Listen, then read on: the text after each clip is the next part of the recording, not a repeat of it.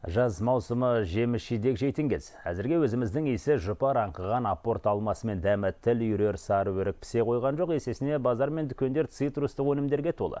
Бағасы да былтырғыдай емес қымбаттағаны байқалады. Сол өнімдер елімізге қайдан келеді, халық сұранысы қандай?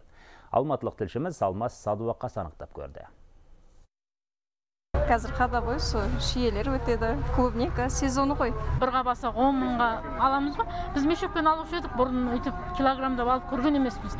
Осы уақытқа шейін мына карантинде килолап магазиндерді бақтық енді. Магазиндерде екі жүз елуден үш жүзден алдық. Базардағы баға баға қалай болып жатыр жақсы нормальный базар. Әмбебап базардағы сауда саттық таңғы сағат бестен басталады. Көкөніс пен жеміс жидек алушылар еліміздің барлық өңірінен келеді. Өйткені өзімізде жоқ цитрустық жеміс ең алдымен осы базарға жүк көліктермен жеткізіледі. Мысалы қызыл алма польша мен түркиядан ал банан мен апельсин қытайдан әкелінген. Бұған дейін тасымалдаушылар қытайға жиі қатынайтын болса қазір айына бір ақ рет барады. Бұл жағдай өнім бағасының қымбаттауына әсер етуде. Біздің мысалы жүгіміз бір бір партия жүгіміз бұзылып кетті қытайдың холодильнигінде жатып болды.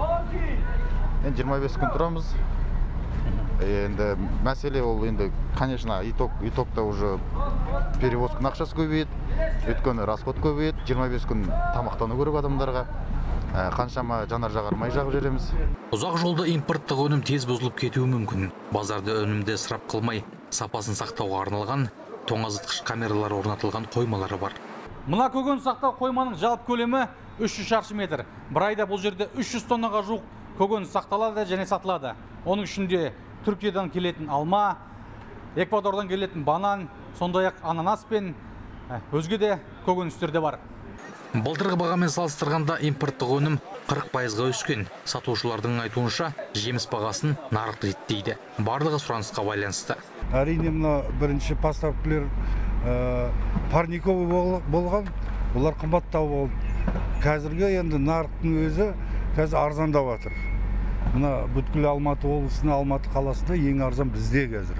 Еуропа мен ираннан келетін алманың базардағы бағасы 500-600 теңге арасында. Ал өзбекстаннан жеткізілген шие мен құлпынайдың бір келісі 500 бен 1300 теңге аралығында сатылады. Бұл базар алматыны жеміс жидек және көкөніспен 90 пайыз қамтамасыз етеді. Ал қаладағы ірі сауда кешендері мен дүкендеріне жеткізілгенде бағасы екі есе ұлғаяды.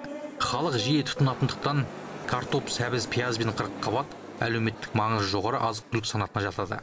По социально значимым продуктам қаладағы дүкендер мен базарларда сатылатын әлеуметтік маңызы жоғары тауарлардың бағасын бақылауда ұстаймыз. Үстінен қосылар құн 15 проценттен аспауы тиіс. Ал сырттан келетін импорттық тауарлардың бағасы сауда туралы заңның тоғызыншы бабына сәйкес нарықпен реттеледі. Кәсіпкер оны қандай бағада сататынын өзі шешеді.